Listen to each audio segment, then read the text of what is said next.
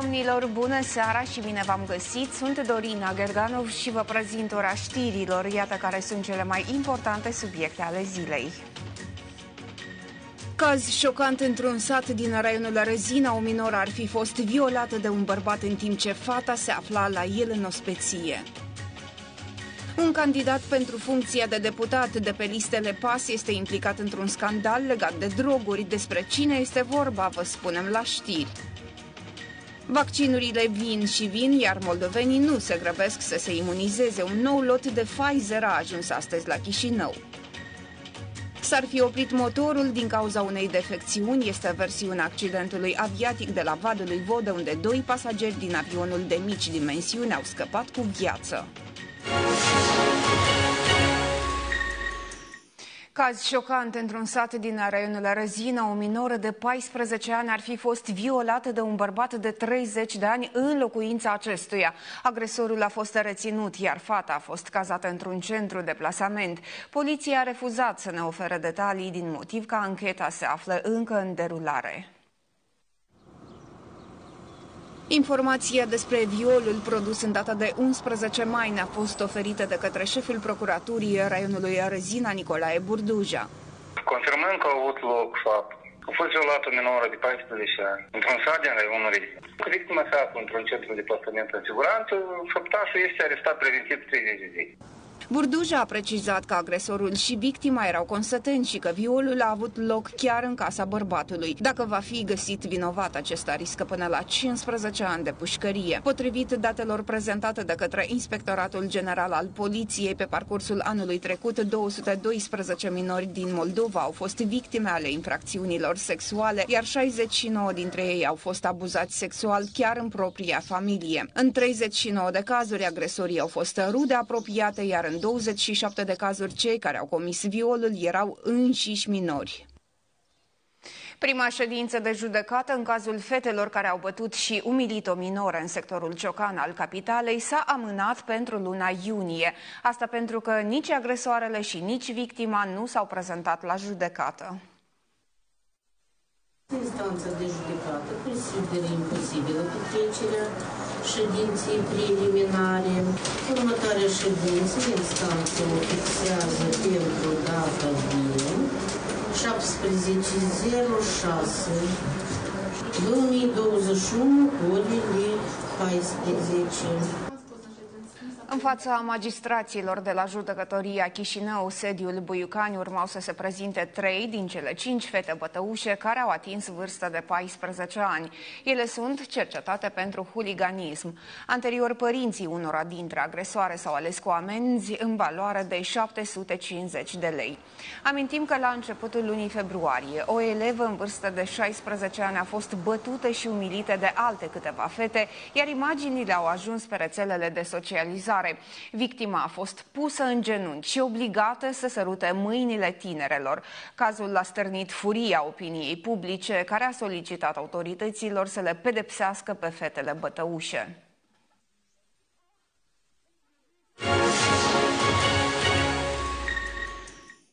Candidatul PAS la alegerile parlamentare anticipate, Nata Albota, fi, ar fi fost prinsă cu droguri asupra sa la aeroportul internațional Chișinău acum patru ani.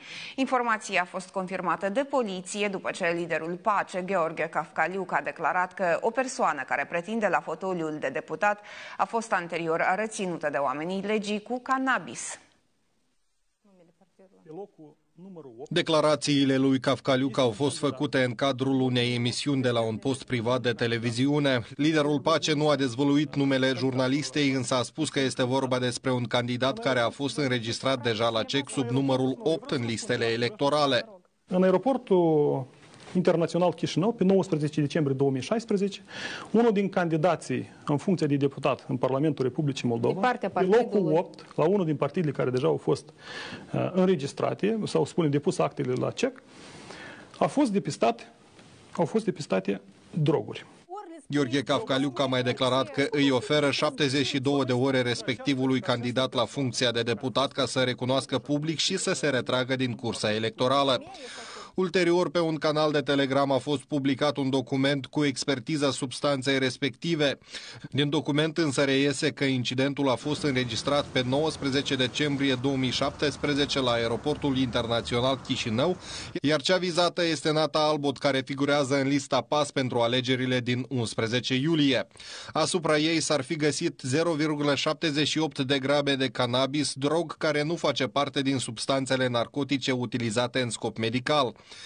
Reprezentanții Inspectoratului General de Poliție au confirmat pentru TV6 că documentul publicat este autentic. Eu pot confirma autenticitatea documentului.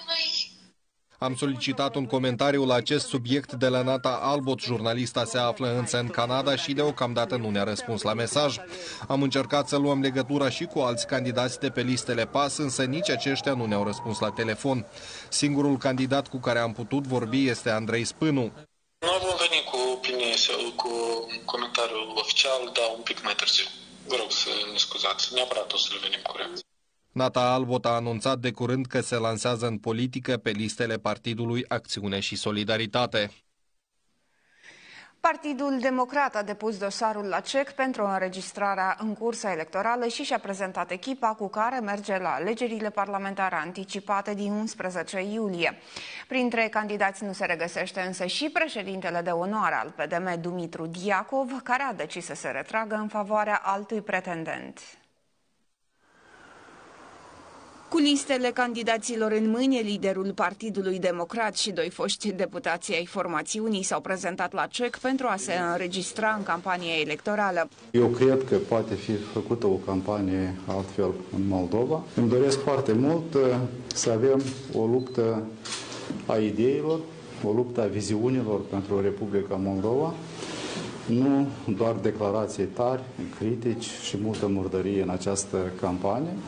Formațiunea a făcut publică lista primilor 20 de candidați propuși la funcția de deputat. Primul în listă este chiar liderul formațiunii Pavel Filip, urmat de foști deputați ai PDM, precum Alexandru Jizdan, Monica Babuc și Mihai Ciubuc, dar și președintele raionului Cimișlia, Mihai Olărescu. În listă însă nu se regăsește și președintele de onoare al PDM, Dumitru Diacov. A zis că face acest gest și se retrage în favoarea unui reprezentant din teritoriu. Deși sondajele arată că democrații nu au șanse să intre în viitorul Parlament, Pavel Filip este de altă părere. Partidul Democrat cu certitudine va fi în următorul legislativ și Partidul Democrat va face diferența. Partidul Democrat uh, a făcut o analiză a greșelilor, am trecut printr-un proces amplu de reformare. Alegerile parlamentare anticipate sunt planificate pentru data de 11 iulie. Atunci când o echipă rămâne fără un lider puternic și pierde capacitatea de a-și realiza propriul program, deputații pleacă într-o altă echipă care își onorează toate angajamentele. Așa explică Ilan Șor aderarea la formațiunea sa a deputaților Platformei pentru Moldova. Fostul deputat a făcut declarații în cadrul unui live pe Facebook și despre relația sa cu Vlad Plahotniuc, dar și cu cine ar putea colabora în viitorul Parlament. Ilan Șor a explicat că PDM a fost un partid puternic și a realizat proiecte importante pentru țară atât timp cât a fost condus de Vlad Plahotniuc. Când de locul lui a fost ocupat de Pavel Filip, formațiunea s-a destrămat, așa că Șor i-a invitat pe deputații aleși pe circumscripții uninominale care au creat platforma pentru Moldova să adere la formațiunea sa. Присоединение Alăturarea acestor oameni, acestei echipe la formațiunea noastră este firească. Au venit într-o echipă care a realizat și continuă să realizeze lucruri concrete. Am realizat mai mult decât toți ceilalți. Toți mint, dar nu decid nimic. De la alegeri la alegeri ei mint și fac promisiuni, dar de fapt nu fac nimic. Но по сути абсолютно ничего не делают. Când vine vorba de eventualele colaborări cu partidele care vor accede în următorul Parlament, Ilan Șor susține că va discuta cu acei deputați care vor avea viziuni similare cu cele ale partidului Șor. Vreau să afirm foarte clar, da, vom coopera întotdeauna cu fracțiuni și cu deputați care sunt gata să susțină programul partidului Șor. Întrebat dacă fostul lider democrat Vlad Plahotniuc, care nu se mai află în țară de aproape doi ani, ar fi implicat în viața politică din Moldova, Șor spune că nu cunoaște asemenea detalii. Da, da, eu și Vladimir Gheorghevici comunicăm, vorbim despre politică ca toți oamenii normali, dar dacă participă sau nu, cred că probabil ar fi mai corect ca el să răspundă la această întrebare. Totodată, politicianul critică atitudinea autorităților, printre care șeful statului și conducerea BNM, care refuză să discute cu avocații săi pe marginea recuperării a 5 miliarde de lei din așa zisul furt al miliardului, bani pe care foștii acționari ai BEM sunt gata să-i restituie, chiar dacă nu ei i-au sustras.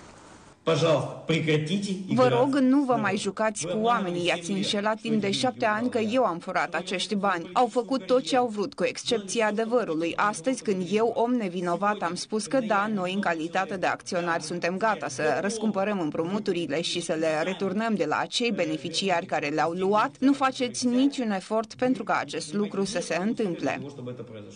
Ilan Șor a răspuns la aceste, dar și alte întrebări în cadrul transmisiunilor live pe rețelele de socializare pe care le desfășoară zilnic la ora 19 și 30 de minute.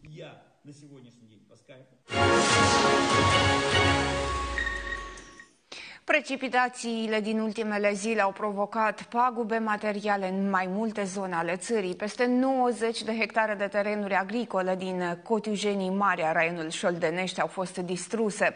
Deși a trecut aproape o săptămână, grindina încă mai poate fi observată prin grădini. Localnicii sunt îngroziți de cele întâmplate și spun că a fost pentru prima dată în viața lor când au văzut o ploaie atât de puternică. Imagini apocaliptice în localitatea Cotijenii Mari, puhoaiele de apă au înghițit totul în calea lor, provocând pagube și blocând drumuri din satul din raionul Șoldenești.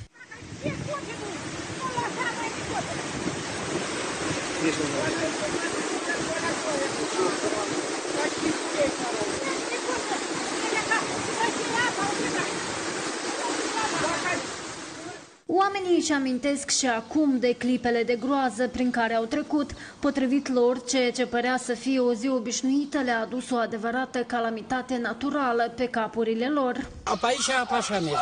Așa de înalt, uitați-vă că la copaci aici, cum se văd rădăcinile, de înălțimii, și-a fost la apa aici, așa.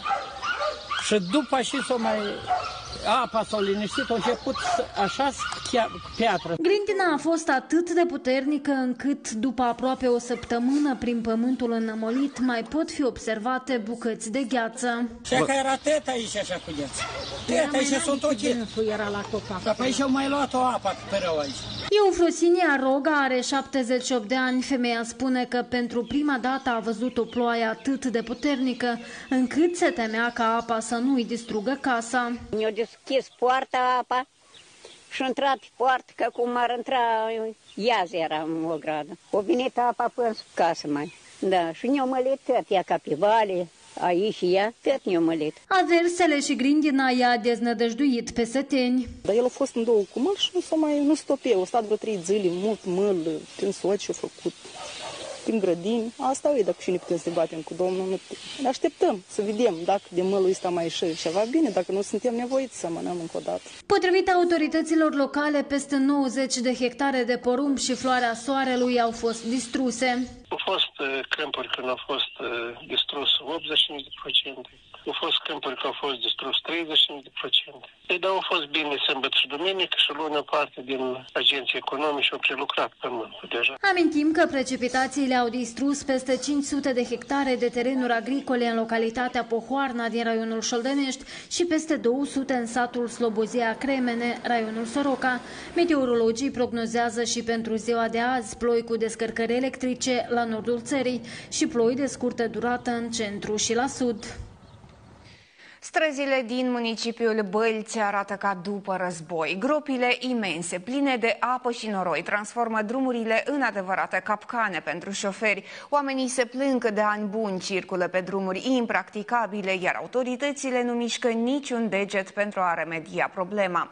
Cel mai mult sunt afectați șoferii, care sunt nevoiți să scoate bani grei din buzunare pentru reparația mașinilor. De cealaltă parte, persoanele responsabile susțin că nu știu când vor fi reparate drumurile. Majoritatea drumurilor din Bălți arată ca după bombardament. De exemplu, strada Independenței, care este paralelă cu cea principală, este aproape impracticabilă. Gropele sunt una lângă alta, iar de asfalt nici vorbă. Acest lucru le dă mari bătăi de cap șoferilor, care spun că sunt nevoiți să-și repare mașinile de zeci de ori pe an. Iată, din cauza acestor drumuri se strică ba suspensia, ba una, ba alta. Vreți să spuneți că acesta e drum? Nu este drum. Se poate deasfalta odată calitativ. De ce în Europa se poate face, dar la noi în Moldova nu? Locuitorii se plâng că unele străzi nu sunt reparate de zeci de ani și nici nu-și aduc aminte când ultima dată au fost măcar cârpite. Mergi mașina pe lături, mă struchește. Вот, e ca mașina voastră. Eu pe altul pot struchesc. Singur mă, mă struchesc la, la picioare. Drumurile sunt stricate, de mult nu au fost reparate, iar chiar dacă se fac reparații, este doar câte o bucățică. La drept vorbind, este foarte strașnic. Если мягко говоря, просто ужас.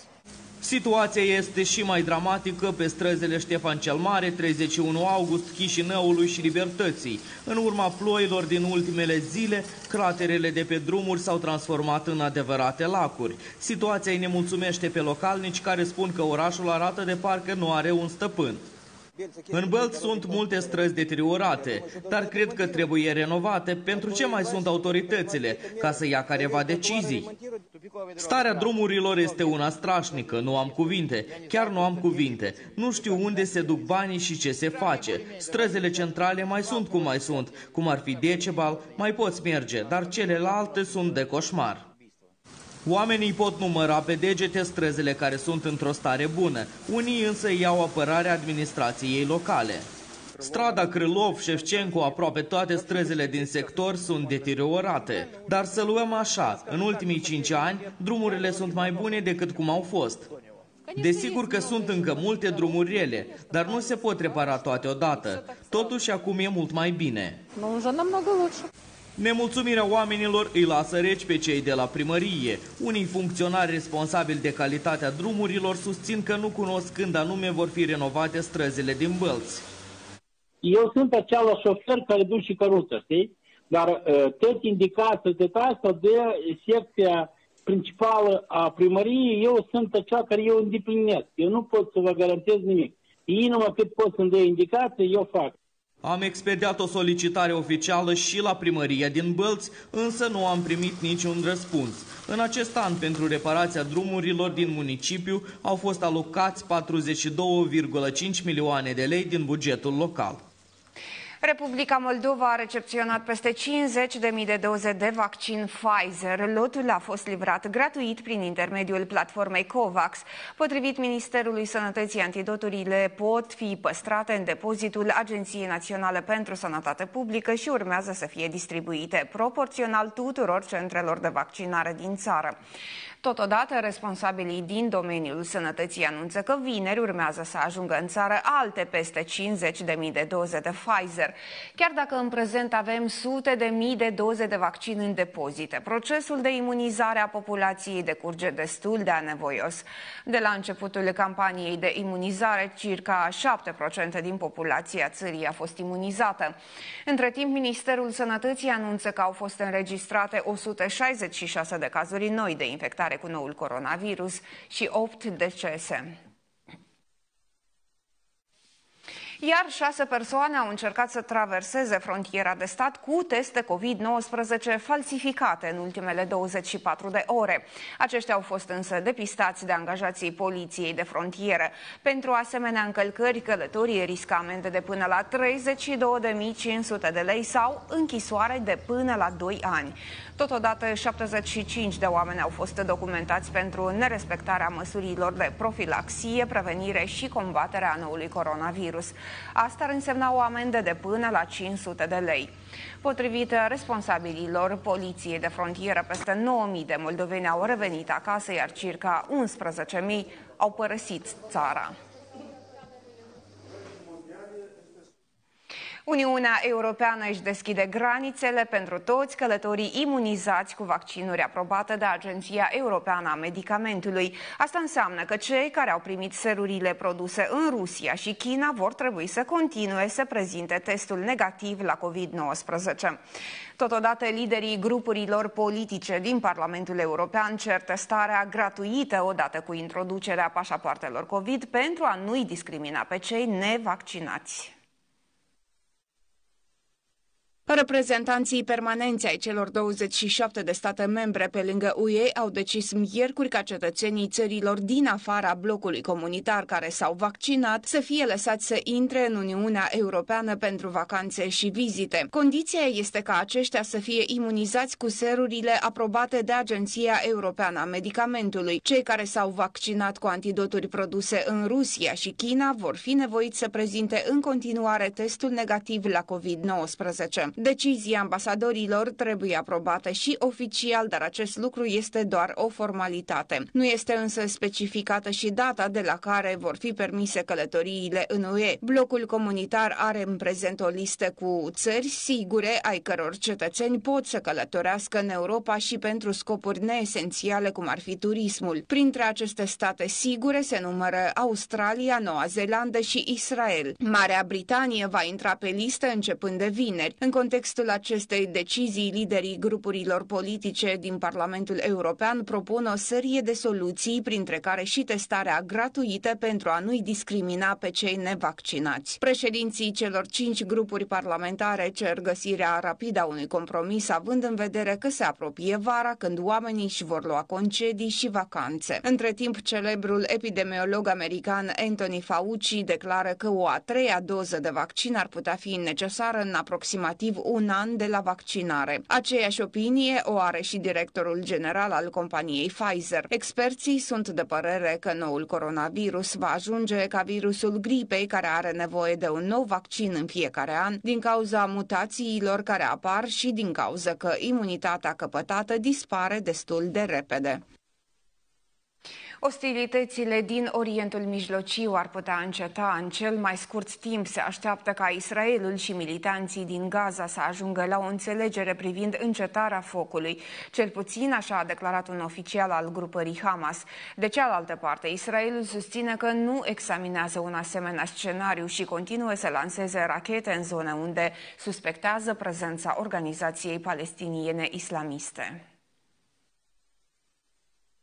Un înalt oficial al Hamas a declarat miercuri că se așteaptă ca Israelul și militanții din Gaza să ajungă la o înțelegere de încetare a focului într-o zi sau două, armistițiu care să pună capăt violențelor transfrontaliere. Mesajul vine la scurt timp după ce președintele american i-a cerut premierului israelian Benjamin Netanyahu să găsească soluții pentru un armistițiu. Exemplul Statelor Unite a fost urmat de Germania, care și-a trimis în regiune ministrul federal al afacerilor afacerilor externe. Întrebat la radioul public din Israel dacă încetarea focului va fi posibilă de vineri, ministrul israelian al informațiilor a negat acest lucru. Între timp, Israelul a continuat bombardamentul în Gaza, iar în urma atacurilor aeriene au fost distruși peste 90 de kilometri de tuneluri, scrie BBC News. Iar Hamas a reluat lansarea de rachete după 8 ore de pauză. Potrivit informațiilor, până acum ar fi fost omorâți peste 220 de palestinieni, iar Israelul a pierdut 12 oameni. Miercuri, guvernul de la Chișinău a anunțat că începe evacuarea moldovenilor aflați în fâșia Gaza. Deocamdată 31 de oameni au solicitat să fie aduși acasă.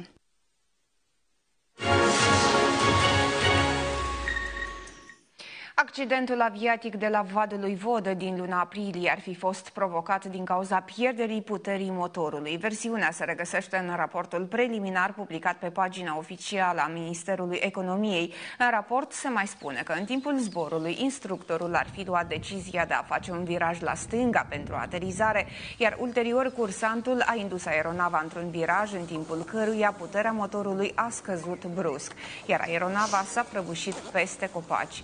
Amintim știm că un avion de mici dimensiuni s-a prăbușit în data de 18 aprilie în apropierea aerodromului din Vadul lui Vodă. La bordul aparatului de zbor se aflau două persoane care s-au ales cu răni ușoare și medii. În urma accidentului, aeronava a fost distrusă în totalitate și nu poate fi reparată. Un tânăr de 27 de ani a ajuns la spital cu mai multe traumatisme după ce mașina pe care o conducea s-a lovit violent de un pilon. Accidentul s-a produs noaptea trecută în sectorul Ciocan al capitalei. Potrivit poliției, șoferul a pierdut controlul asupra automobilului care s-a ciocnit de un indicator rutier, după care de un pilon derapând de pe carosabil. Oamenii legii au inițiat o anchetă pentru a stabili toate circumstanțele. Totodată bărbatului i-au fost prelevate probe pentru a preciza dacă a consumat alcool sau droguri. Un alt accident rutier s-a produs ieri seara în municipiul Combrat. O autocisternă cu 26 de tone de combustibil a derapat pe marginea carosabilului și a rămas blocată. Un echipaj de salvatori a intervenit pentru a tracta unitatea de transport. În urma incidentului nimeni nu a avut de suferit.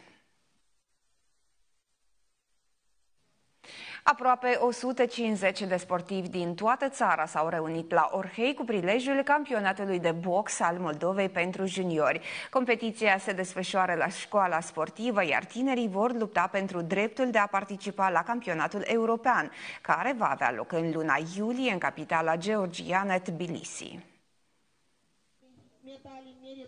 Tinerii boxeri din toată Moldova au venit la Orhei pentru a-și încerca puterile și pentru a afla cine este cel mai bun junior. Aceștia s-au luat la pumn și și-au arătat abilitățile în fața arbitrilor, dar și a spectatorilor.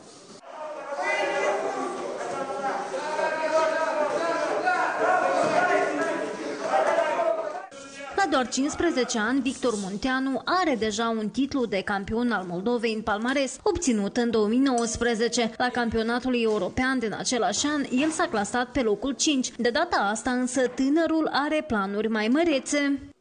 Am decis să mă ocup cu boxul în clasa 3 Vreau să plec la campionatul european, să iau loc, să sperăm cu locul întâi. După asta la mondiale, la olimpice. Victor are parte de o concurență acerbă, întrucât și alți luptători puternici râvnesc la întâietate. Mie îmi place acest sport și mă ocup cu el. Vreau să ajung la campionatul mondial și european.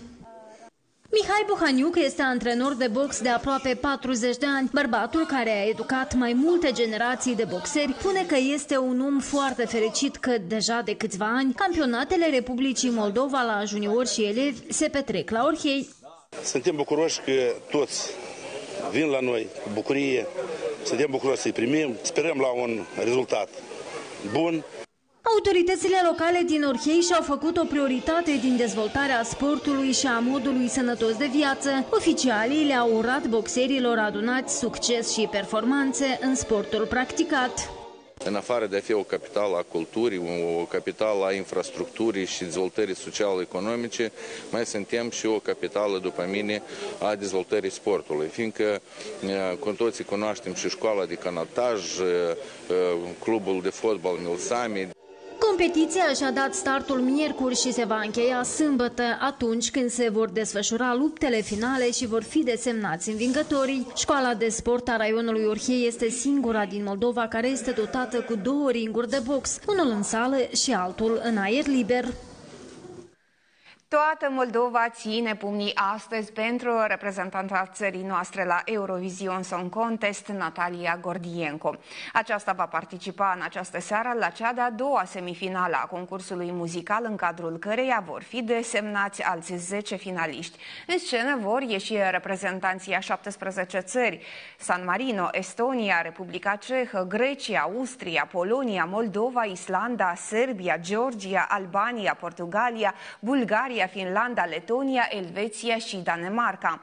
Natalia Gordienko va evolua sub numărul 7.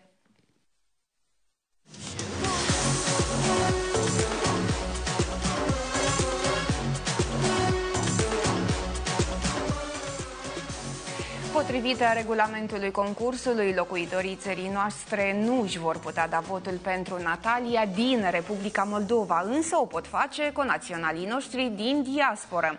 Un juriu special și-a dat deja notele în cadrul repetiției generale, însă telespectatorii vor putea să voteze pentru interpretul pe care vor să-l vadă în finală. Rusia, Ucraina, Azerbaijan, Israel și alte șase țări s-au clasat deja în actul final care va avea loc în 22 mai. Acolo îi așteaptă deja reprezentanții țărilor fondatoare ale Eurovision Song Contest, Franța, Germania, Italia, Spania și Marea Britanie, dar și țara gazda a concursului, care conform tradiției sunt calificate automat în finală. Doamnelor, domnilor, rămâneți cu noi, urmează prognoza meteo. Eu sunt Dorina Gerganov și vă mulțumesc pentru atenție. O seară frumoasă alături de cei dragi sufletului. La revedere!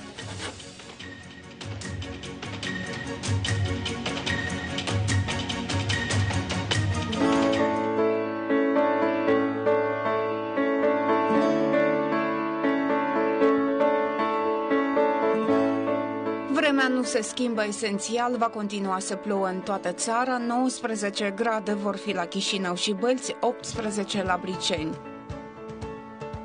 Maximele la Soroca, Florești și Leușeni vor fi de 19 grade. La Orhei, Ungheni și Dubăsarii se vor înregistra temperaturi de 19 grade. 19 grade sunt anunțate la Tiraspol, Comrat și Cahul. Urmează prognoza pentru alte capitale, va ploua la București și Moscova cu 20, respectiv 17 grade, la Kiev soare cu nori și 18 grade. Ploi la Londra și Paris în termometre 14 și respectiv 16 grade, la Madrid soare din plin și 29 de grade. Senin la Roma și Atena cu maxime de 22 și respectiv 25 de grade, la Berlin ploi și 18 grade Celsius.